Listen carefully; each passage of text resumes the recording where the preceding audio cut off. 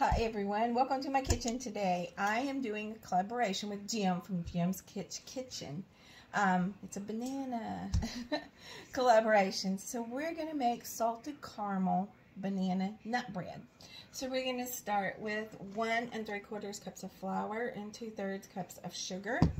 We have two eggs beaten. We have a third cup of melted butter. I have about a half a cup, well, no, it's about a quarter cup of my salted caramel sauce, two tablespoons of milk, have two teaspoons of baking powder, half a teaspoon of baking soda, and half a teaspoon of salt, and about, uh, about a half a cup of uh, nuts, coarsely chopped, of course, bananas that are ripe and they're um, smashed and some turbinado sugar to put on top. So let's get started. Okay, I'm going to whisk the flour and the sugar. I'm going to put the baking powder and baking soda in there. Whisk that. I'm going to set that to the side. I'm going to just kind of make a little well here. Add the eggs butter, and the milk. And stir that.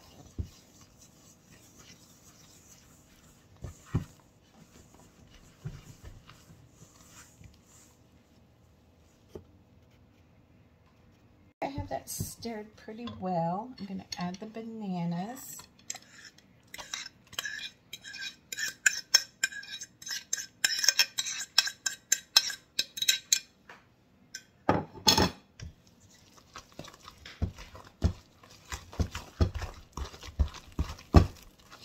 Stir that until it gets mixed really well.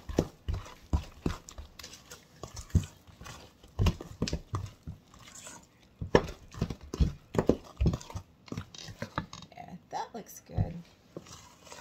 So I'm going to layer this. I'm going to put half of the batter in.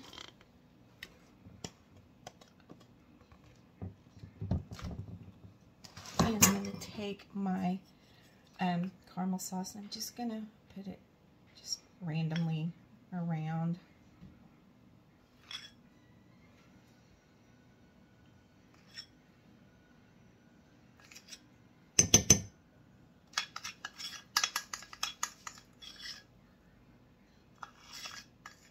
Okay, I'm going to give that a little twirl through there.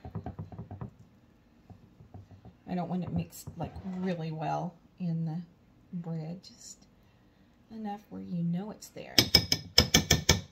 Okay, I'm going to take half of the nuts and sprinkle there.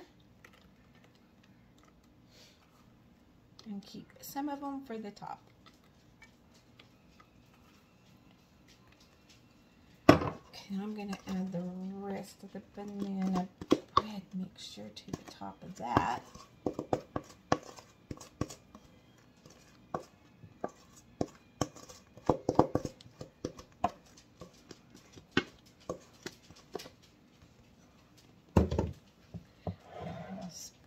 To the edges.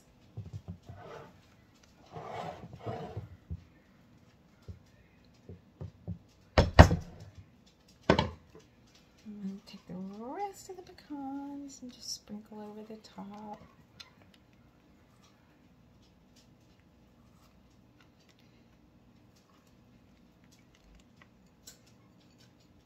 And then I'm just going to take some of the turbinado sugar. And sprinkle that. So have like a little caramely topping, but you don't have to make any caramel. That should be enough. We're going to bake this for about 55 to 60 minutes in the 350 oven and we'll be back. Hi everyone, got the banana bread out. Look at that. Doesn't that look great? It tastes amazing. You can't really see the caramel in it, just a little. If you look really close up, close. So it's not overwhelming because it is salted caramel. And there's the big loaf.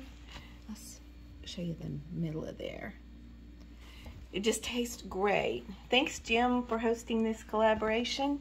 And if you like this video, subscribe to my channel, hit the notification bell, and we will see you in the next video. Bye.